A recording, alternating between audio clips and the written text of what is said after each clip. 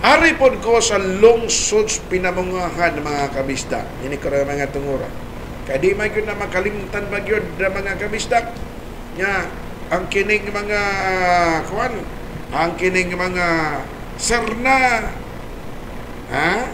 Ang kining serna o kining yapha. Hmm. Nagkumbuya mga kabista. Ha? Nagkumbuya kay gusto lagi ko nung umualagad aron ilang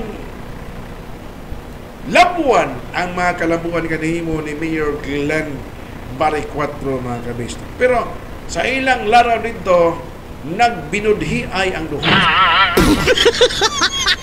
mga leader man to, wa na kasinabo, ang ilang interest na kini, pinaagi na uh, lip-lip sir na, ha? makadaog ko ani, mayor. Ah, kay uh, batanon, mga lagi, pagka-consul, wag yun tayo nahimo. Hmm.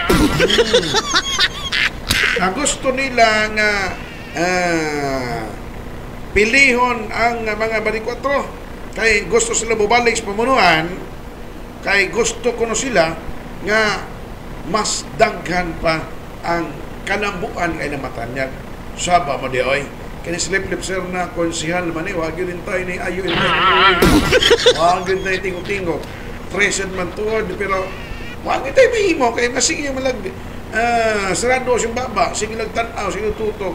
So wala jud kay mahimo ng kalakihan. O sa mga mahimo ni mong mayor, sige nagkakanaw niya, wa kay himon, purbida, way ayo?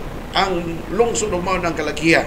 Ang vice mayor pod si Yapha, Antonio Yapha, ah, ang yang interest, banggaon niya si Mayor Glenn, ah, pagka vice mayor, kaya mabahis man si Mayor Glenn, ah, gusto po niya nga ah, puwago na bali 4.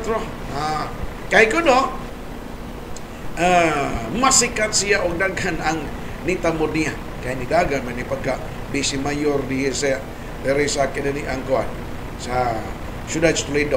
Ah. O niya nahimo ni mayor diha na suspenso si former mayor former mayor Anding Sani Osminia. O nahimo po mayor. Ah.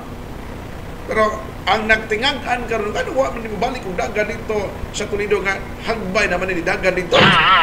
Ngano ni balik mas pinamungahan. Huwag lubot gid taon ning kalakiya. Ah, kay gusto niya nga sa di pa siya mupana ni kalibutan na. Mayong pagkahilo na ang mga batanong mga yapha. Sus Mario si Pintaon. Di na na magsilbi oy.